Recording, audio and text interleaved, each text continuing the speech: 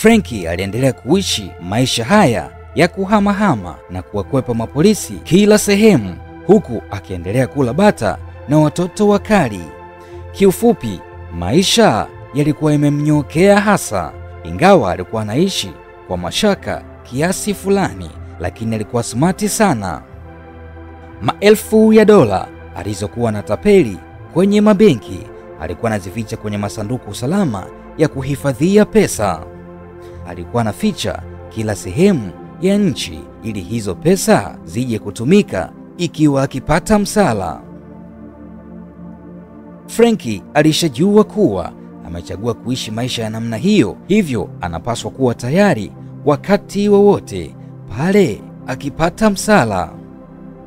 Mtu mwingine ungefikiria kuwa jamaa jinsi alivyokuwa na pesa na anavyokula bata na watoto wakali kila sehemu, alikuwa na enjoy sana.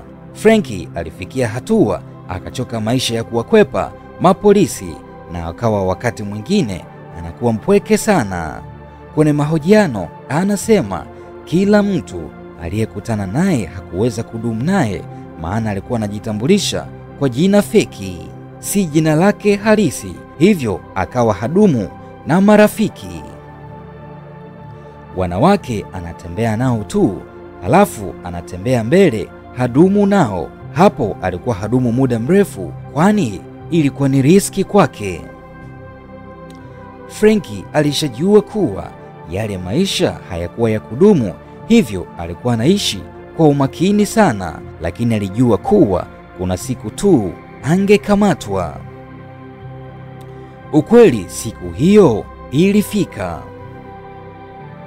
Alikuwa akisafiri kuelekea Miami akiwa kwenye ndege kama kawaida, Dedi Hedin, yaani anasafiri bure.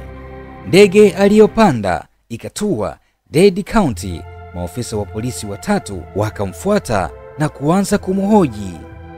Yeye alikuwa amejenga utulivu mzuri tu, akidai kwa kujiamini kabisa kuwa yeye ni Frank William na kuwa ni piloti, lakini wale maofisa walimchukua kwa ajili ya mahojiano zaidi. Akiwa anahojiwa, Frenki akatoa kitambulisho chake feki na kuwahakikishia kabisa, akawapa majina ya marubani, wafanya kazi na washikaji zake wa kazini aliyokuwa anafanya nao kazi. Polisi walipowapigia jamaa hao, waliwahakikishia kuwa jamaa ni mfanyakazi mwenzao, wapo naye kitambo tu, wanapiga naye kazi kwenye kampuni ya IM. Na tena wakaongeza kwa kusema Frenki ni mtu pisi sana na hana shida yoyote wala kokoro. Frenki alikuwa mjanja sana, aliweza kujichanganya na wenzie kila alipokuwa kisafiri na wakamwamini kuwa ni rubani kweli kweli. Polisi walipopata huo uthibitisho, kwa masikitiko, walimwomba msamaha kwa kumsumbua na kumchelewesha. Frenki akawaambia wasijali, anajua wapo kazini na dunia imeharibika, hivyo wanatimiza majukumu yao. Hapana shaka, peace and love. Polisi walihisi pengine angeweza kuwashtaki kwa kumharas. Jamaa aliwahakikishia yale yamepita na yaliyopita si ndwele, wagange yajayo. Wakapeana tano na mapolisi, kisha akaondoka zake. Kuanzia hapo akaanza kutulia kwanza kidogo kwa muda fulani, ili acheki kwanza hali ya hewa. Sasa tuangalie Frenki alipojifanya daktari wa watoto. Akiwa Atlanta, Frenki alifanikiwa kupata eneo fulani limetulia sana, ambalo vijana wengi walikuwa wamechukua apartments. Akaamua naye apange eneo hilo kwa mwaka mmoja, na huko akajiandikisha kama dokta, akiwa anajaza mkataba wake wa kupanga hizo apartment na kudai ni daktari ambaye alikuwa amekuja kupata mapumziko ya muda mrefu kutokana na kufanya kazi kwa miaka mingi bila likizo. Frenki alikuwa msanii sana. Basi jamaa akawa amejenga utulivu maeneo hayo, anakula pesa zake tu. Siku moja ametulia home anacheki movie, mara hodi ikapiga. Kwenda kufungua akakutana na jamaa mmoja aliyejitambulisha kuwa ni dokta. Frenki akaona huu sasa ni msala, kakutana na dokta mubashara kabisa, kaja kumtembelea, maana akajua inshu yake ingebumbulika. Wakiwa katika maongezi, alijitahidi sana kutengeneza utulivu na mwishowe akaja kugundua kuwa yule dokta hakuwa interested sana kuzungumzia masuala ya kazi. Alikuwa mtu wa wasichana sana, hivyo huko kwenye wasichana sasa akamkuta Frenki ndiyo professional yake kabisa aliyozaliwa nayo toka kwa mama yake. Wakawa wanapiga sana stori kuhusu mademu na kutembea nao, wakagundua wote ni wazee wa mabinti na hivyo wakawa marafiki sana. Yule dokta akamwomba Frenki siku moja amtembelee katika hospitali anayofanyia kazi, na pasipo kigugumizi Frenki alikubali na akawa anamtembelea kila mara, na mwishowe Frenki akawa anafahamiana na wafanyakazi wengi tu pale hospitalini. Si unajua mtoto wa mjini anavyojua kujichanganya haraka na watu. Hii ilimsaidia sana, maana aliweza sasa kujifunza juu juu kuhusiana na udaktari wa watoto. Mwishowe hata aliruhusiwa kuwa anaingia library, na huko alijitahidi sana kujifunza udaktari wa watoto kama ambavyo alikuwa akijinasibu. Jamaa alionekana kufiti sana kwenye hii nafasi, alionekana anayependa sana kazi yake, na mwishowe siku moja meneja wa ile hospitali akatamani aonane na Frenki waongee kuhusu ajira pale kazini. Yaani akapenda Frenki naye afanye kazi katika ile hospitali. Hapo sasa Frenki akaona ni msala ishakuwa noma, maana hakuwa daktari wa ukweli zaidi ya usanii tu.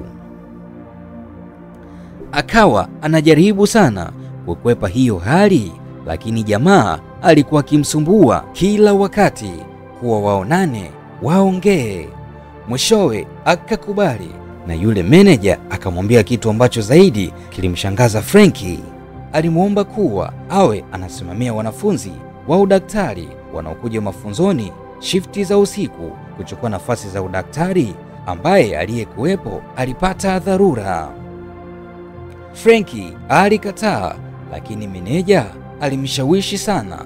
Kabla ya hapo, Frenki alikuwa anapewa nafasi ya kuwasimamia wagonjwa mbalimbali pale hospitalini baada ya kuwa amepata kibali cha kufanya kazi jimbo la Georgia. Frenki alikuwa na ujanja fulani wa kukwepa maswali ambayo alikuwa hayafahamu pindi aulizwapo. Ikiwa ingetokea angeulizwa kitu ambacho hakijui, basi angekifanyia mzaha au utani na mwisho kingepotezewa.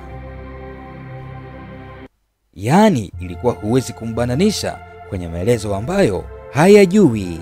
Atakupiga maneno, mtacheka, kisha itapita. Basi baada ya kuachia ile kazi ya usimamizi wa wagonjwa kwa mhusika zingine, siku zote ule uwezo wake wa kufanya masihara na utani vilimsaidia sana kuficha ukweli kuwa hakuwa anasomea udaktari. Zaidi zaidi, wafanyakazi wengi walikuwa wakimpenda, maana alikuwa na utani sana na ucheshi kuwafanya wacheke muda mwingi. Kumbe jamaa ndo anafukiafukia mashimo kwa staili hiyo. Hakuwa na beef na mtu wala ujivuni, alikuwa mtu wa watu sana. Basi aliendelea kumaintain ile nafasi yake kama daktari msimamizi, sababu hakuwa akilazimika kufanya kazi yenyewe zaidi ya kusimamia inavyofanywa na madaktari wengine.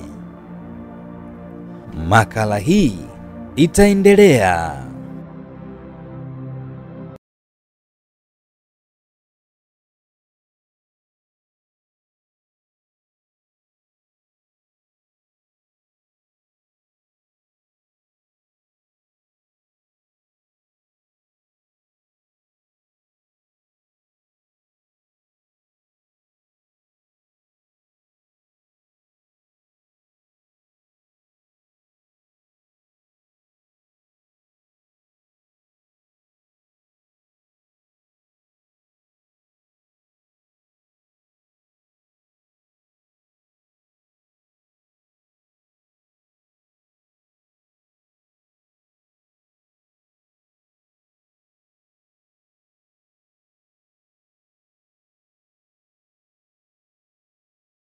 Mambo vipi, mdau wa Davista Mata? Kwanza nakushukuru sana kwa kunisapoti kupitia kazi yangu ninayoifanya. Asante sana. Leo nina habari njema kwako wewe mdau wa makala za kihistoria na matukio mbalimbali. Ni kwamba kwa sasa nimeanzisha grupu langu la WhatsApp ambalo nitakuwa na kujulisha vitu vingi kuhusu historia na matukio mbalimbali yaliyowahi kutokea duniani na kuna baadhi ya vitu na matukio ambayo sitayaweka katika akaunti ya YouTube, lakini nitakupatia kupitia grupu langu la WhatsApp. Ninakukaribisha sana, na kwenye grupu letu hili utakuwa unachangia kiasi kidogo tu kwa mwezi ambacho ni shilingi elfu mbili mia tano kwa mwezi mzima, yaani ni kama umechangia 625 kwa wiki. Ninakukaribisha sana, karibu tujiunge tujue tumetoka wapi, tupo wapi na tunaenda wapi. Unaweza kuwasiliana nasi kupitia namba hizi 0672 92 30 92. Karibu sana na asante sana.